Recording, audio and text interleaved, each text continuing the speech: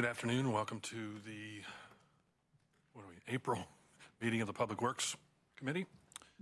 Uh, In attendance are our four committee members, Annette Scipio, John Larson, and via computer, Barbara Burke.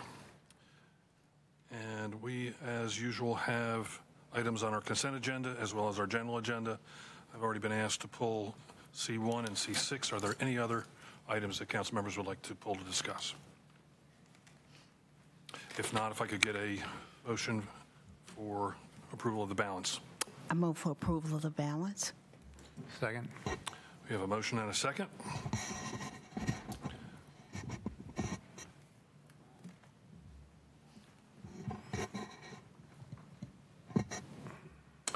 And Councilmember Burke, can you, are you attached? Can we hear you? She does not seem to be able to hear us. She must be on. Yeah, it looks like she can't hear us. Sorry? Your mic. Yeah. Councilmember Burke? You want me to send her a text? Yeah. Looks like she's She looking. doesn't have her audio on.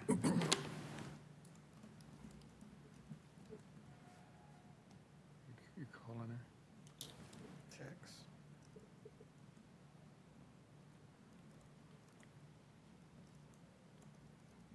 She just got it.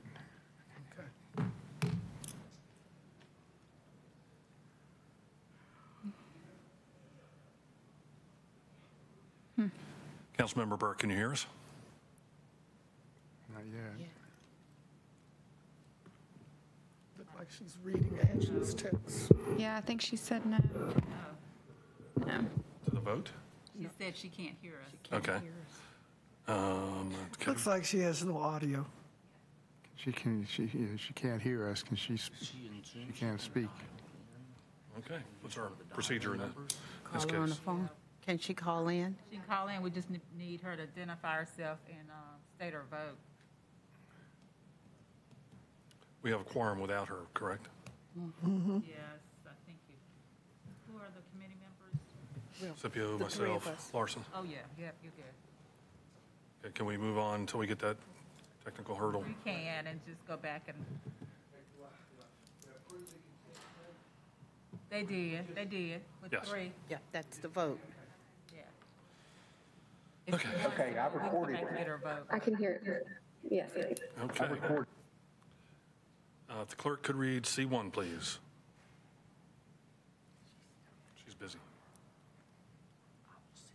Okay. Item C1, resolution authorizing the town and country neighborhood traffic calming plan for funding and construction. Mr. Fansler, Good evening, Mr. Chairman. how are you? Good, how are you? We can get a report on this, I'd appreciate it. Absolutely.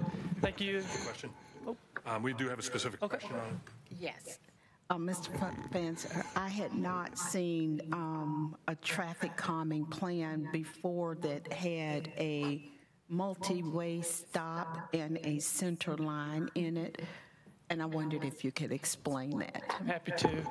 Thank you, Mr. Chairman, members of the committee. Uh, Councilmember Scipio, to answer your question specifically, I'll back up just a minute, I'm not sure about that, but um, those options, uh, the multi-way stop and the centerline treatment markings, those are specifically spelled out in our traffic calming policies as options that a petitioner can request. So I mentioned often that there's several options, and those are one of many. Unfortunately, this, this body has a tendency to, to see a lot of the speed cushions that do come through. But we work with the neighborhood on options that uh, were, were different than that, and they selected these multi-way stops and then the center line markings improvements. So that's why you're seeing those because they are viable options and they did go through the process just like any of our other recommendations. What are they? I'm sorry? What's a multi-way stop? Is Multi-way four- stop. Four, four, That's correct. I'm four-way sorry. stop? Yes, council member. Oh. That's just DOT lingo for everybody in all directions has to stop at the intersection. Thank, you. and what about the center, the center line? The What- center line is just that double yellow in design, the double yellow center line that designates the lane assignment. So it's oh. just a traditional yellow lines that you see on the roads, establishing where you're supposed to be, narrowing it down from a wider facility to a designated lane. Okay, thank you. You're welcome. The thought, be- the thought being that the, mm. the narrower the lane, the less tendency there is to speed on that, on that. That's correct, na- visually narrowing it to mm-hmm. restrict. Okay. Um, I did want to make a comment also on the map that you included. I thought it was a large neighborhood. Maybe that's why you're showing that. How many people said yes and how many people said no? Thought that was really good to be able to see that. Mm-hmm. Uh, oftentimes we don't get to see the vote uh, like this, so I, I, I really appreciated seeing that in this neighborhood. We'll be sure to include that moving forward. It was a lot of votes. The neighborhood worked really hard on this, so I commend them on that. Thank you, Councilmember. You're right. Obviously, you know, this is a neighborhood that, that was very challenging. You see the different mixture of votes there. It took us some time to get there. This is a battle. But ultimately, it took a lot of the champions of the neighborhood wanting this to see it through the finish line, and that's what it takes. So here's the results. Thanks for your all's efforts on this. Thank you. Okay, can I get a motion? Uh, with that, I move for approval. A Second. We have a motion and a second, and Councilmember Burke, I believe that we have you in attendance now completely? So if we can have a... uh, Yes. Great, all right.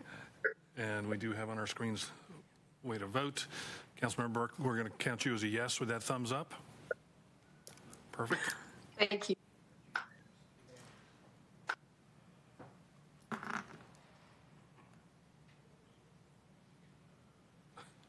And lost Yep, yes, lost. Bunny- There she is.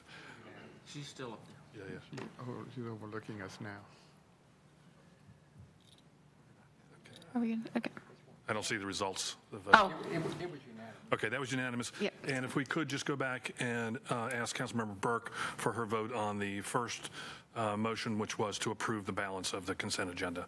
You'll just give us a thumbs up or say aye. Great, perfect, unanimous. I love it. Okay, the next consent agenda item pulled is C6. Item C6, resolution authorizing the acquisition of fee simple right-of-way and easements for construction of the Salem Parkway multi-use path located in the Northwest Ward. Again, Mr. Fansler, if you'll enlighten us.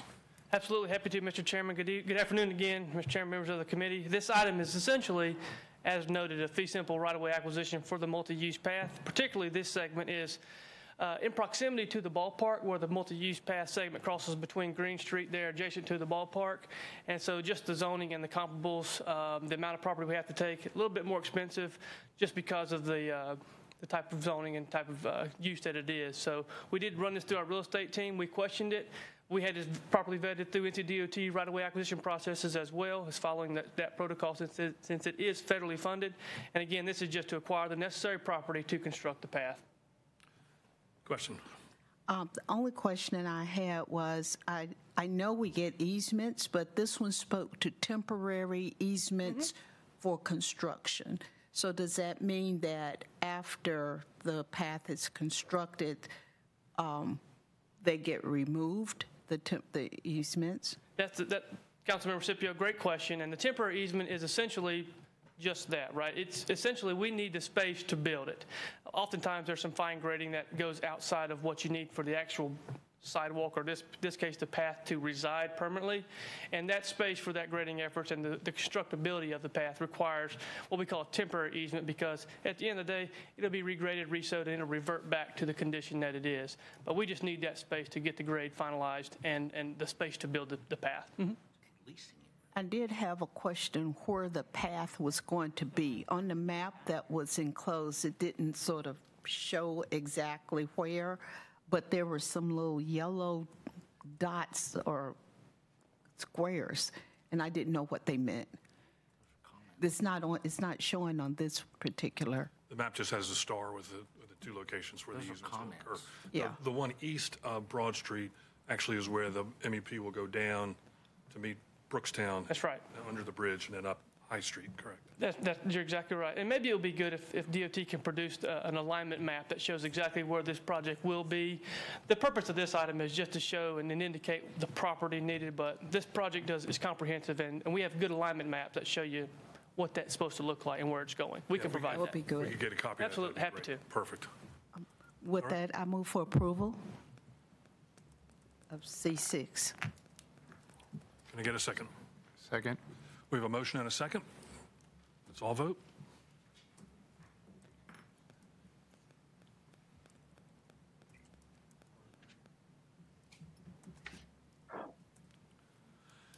And I lost Councilmember Burke, so as soon as we get her back on the screen.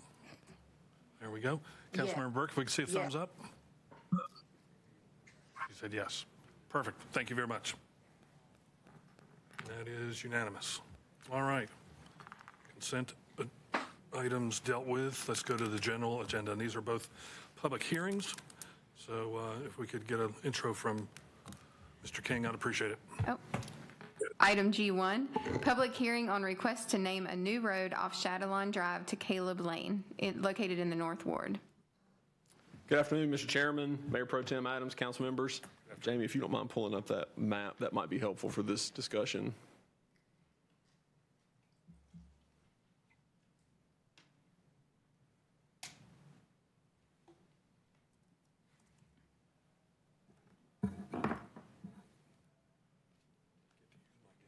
Okay, thank you, Jamie. Um, So this is a street naming request, and the request is basically for a piece of property that's undeveloped off Shadowlawn Drive. So this is, um, if you're heading out um, Reynolda Road where it intersects with Shadowlawn, turn right on Shadowlawn, and this is not too far back to the east from that intersection. You can see the address with a label on the map where this is pointing to, and essentially what we have here um, is, is we don't have enough address range to accommodate a duplex that's proposed to be built on this parcel. So obviously, we follow chronological ordering in our numbering, odds and evens. It's pretty standard. And basically, you see when we have those um, two structures built on either side of this vacant parcel, we don't have two numbers available between those two that fit. And so this, um, what you would have would be basically a private street, Caleb Lane, that would be air, basically be constructed in there, and then you would have the two address assignments off of Caleb Lane. Glad to answer any questions. This is in the North Ward. And Mayor Pro Tem, do you have any questions before we go? Okay, great. Um, I will open the public hearing and ask if there's anybody in opposition to this in the audience.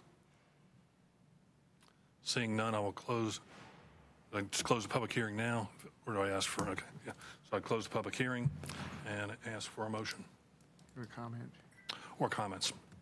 Could I- I ask questions? This bas- is that- this is basically a private drive to two apartments or two condominiums or what? A duplex, two units, correct. That's what it is. So it only goes as deep as the, uh, as the lot is itself. It doesn't go anywhere else. other That's correct. On, just into those lots. Thank you. Okay. If there's nothing else, can I get a motion? Move approval. Second? We have a motion and a second.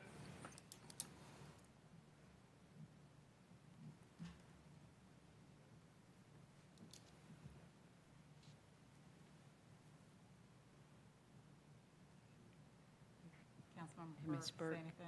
Councilmember Burke, if we could, if you could indicate, very good. Awesome. That is unanimous. Thank you very much. I think we should all start voting like that. All right, let's go to G2, please. Siskel and Ebert. Item G2, public hearing on request to name a new road off Carroll Weathers Drive on the campus of Wake Forest University to Forest Bridge Way, located in Northwest Ward. Mr. King, if we could get some background on this. Absolutely, and I'll, I think Jamie's going to pull up the map for this one also. Thank you. So um, you may remember it was probably a few months ago, maybe before the holidays, we brought an item to this committee to do some street naming uh, and renaming on the campus of Winston-Salem State University. In that same meeting, we also had Wake Forest University. We, we brought both of them, um, and we kind of compiled them together in a batch. This segment that you see here delineated in red on that map, kind of north of those practice fields and in between those two um, facilities there, it was, Law school inclu- building. it was included, um, but the name that was submitted at that time did not meet our addressing requirements, our, our street name requirements, rather. And so Wake Forest had to go back to the drawing board and come up with something that did work within our policy. And so what you've got now is basically naming that Forest Bridge Way, which does comply with our street naming policies. Glad to answer any questions. Very good. Councilmember Scipio. Sometimes you bring us things that just ask, uh, make me think about something. And what are our street naming guidelines that the original name didn't meet? Uh, I didn't know we had such guidelines. We do, and for that, I'm going to ask Matthew Hamby with MapForsyth to come up and speak to that in a little bit more detail than I'm probably capable of doing. Thank you. Matthew's here. Good afternoon. Um, Afternoon. In regards to your question, it was a duplication of the name, of an existing name that we already had, either in the city or the county, and I can't remember exactly what the name was, but we don't allow any more duplications of names. So that was the problem. Are there other guidelines, uh, like person living, person not living, Yep. So owned slaves, didn't own slaves? I mean, uh, I don't have them all memorized, but simple, some of the ones that come up commonly are the name has to be spelled the way it's spelled in the Merriam-Webster dictionary. It can't be named after someone who's um, currently alive. They have to be deceased for at least five years, and they have to submit a biographical information of that person's uh, contributions to society. Um, no vowel, no um, foul words, of course. Has to be no more than two words. Uh, can't contain any directional in the name. So uh, I can't remember. We have a few more, but I can't remember the rest of them. Okay. Council members, please address the chair before you ask questions. Are you done? Oh, yes, sir. finished? Thank Any you. other questions? Councilmember Larson? These, these are city streets now, right? It's not private street. Private streets. This this is a private street. It'll be a private street. So we'd have no maintenance, we have no maintenance requirements on this at all. Wake Forest will maintain. And the naming of the street then, we still control that? Correct.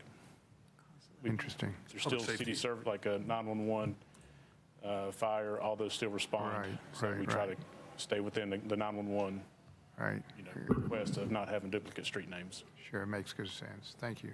So we're trying to make a conscious effort not to be Atlanta and have peach trees everything. Everywhere, right. Right, so Yeah. something comes across the 911, we know where it is. Right. All right, any other questions? Okay, um, this is, this also is a public hearing. Is there anybody in the audience who is opposed to this? Seeing none, I close the public hearing. I would ask for a motion. So move. Second? I have a motion and a second. Let's all vote. Councilmember Burt, Councilmember Burke votes yes. That is unanimous. Ladies and gentlemen, thank you very much. Unless there is any other further business, we are adjourned.